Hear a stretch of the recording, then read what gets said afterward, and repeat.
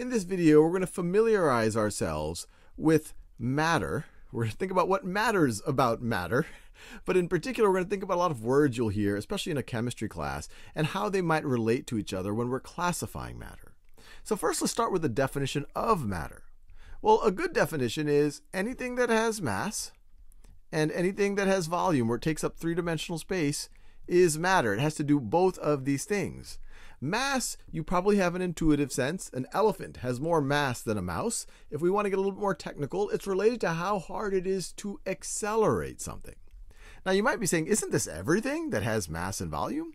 But we have to remind ourselves, even within scientific circles, there's many things we talk about that don't have both mass and volume. For example, we can think about waves.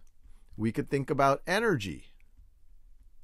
And then you could think about things that have energy or that have wave like properties like light or sound. And all of these things would not be considered matter. And of course, I guess you could even broaden it to uh, ideas like love. That also would not be matter, but I'm, I'm probably going on a, a bit of a tangent there. But we're going to stay focused on the matter side, not on the not matter. And the first division of matter is between what we could view as pure substances and mixtures. Now, a pure substance, one way to think about it is no matter how small we get, any sample we take, and we don't chemically alter that sample. So we're not doing any chemistry making or breaking bonds here. If we take a chunk of it, you're going to have consistent chemical properties. You're going to get the same thing. Once again, assuming that you're not changing the structure chemically. You're not making or breaking chemical bonds. You can get down to the microscopic, to even the molecular level, and you're going to have the same properties. While in a mixture, that isn't true.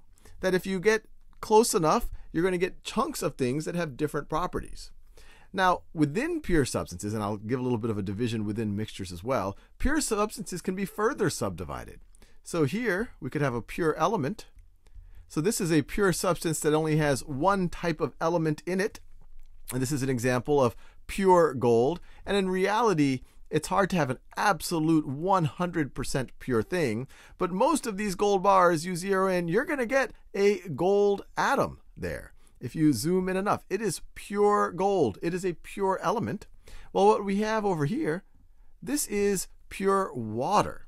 Now, water is still a pure substance because you go down all the way to the smallest level, to a, molecular level, as long as you are not chemically altering the water, you are going to still get the same thing at any scale.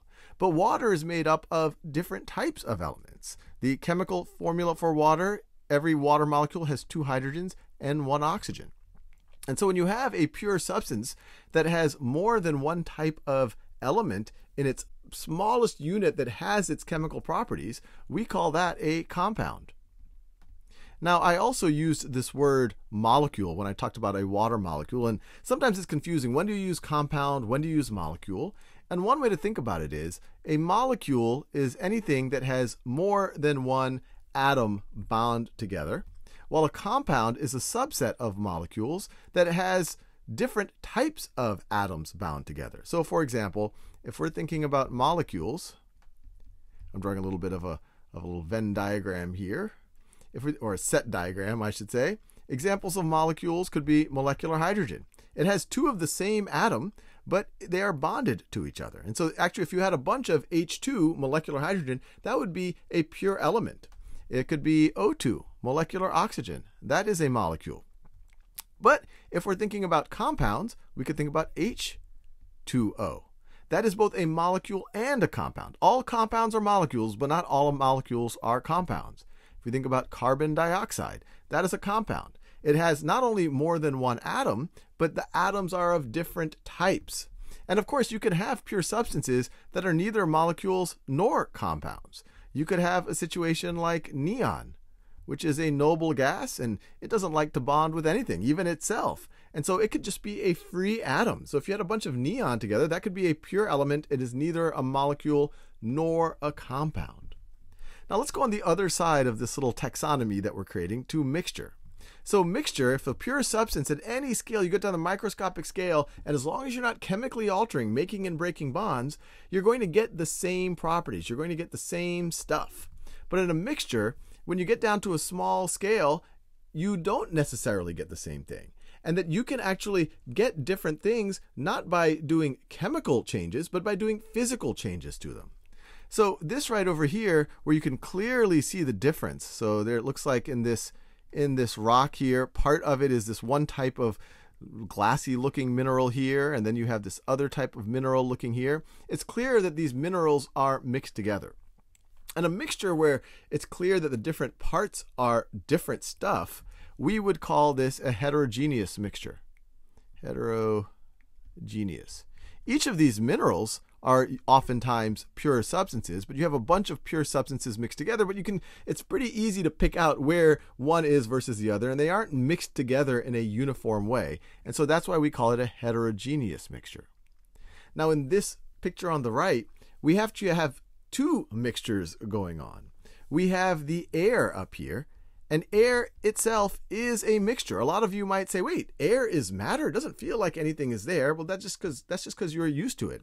Matter is anything with mass or volume, and air, especially the air molecules, for sure have mass and for sure take up space. They have volume to it. Matter can come as a as, as a gas, as a liquid, as a solid, and even as plasma. Those are all those are states of matter, but that is all matter. But the reason why the air that we breathe is considered a mixture is that it's full of nitrogen, it's full of oxygen, it's full of carbon dioxide. In fact, it's it's mostly nitrogen and oxygen. Those things can be physically separated from itself. You can zoom in on the air and you can do things to just pick out a nitrogen molecule or an oxygen molecule or a carbon dioxide molecule without making or breaking bonds. But air, where you have these different pure substances that are mixed together really well in a uniform way, this is known as a homogeneous mixture. Homogeneous. And similarly, water that you might see in, say, the ocean is also going to be a homogeneous mixture because it doesn't just have H2O in it. It for sure is going to have H2O in it, but it's also going to have sodium chloride that has been dissolved in it. So it'll have sodium ions and chloride anions in it. It's going to probably have other things that are mixed into it. It's probably going to have molecular oxygen mixed into it, but it's mixed generally pretty uniformly. So that's why we call it a homogeneous mixture. So I'll let you go there. This is giving you the toolkit for a lot of the words that you will hear in chemistry class, and it's useful to be able to know what these different things mean.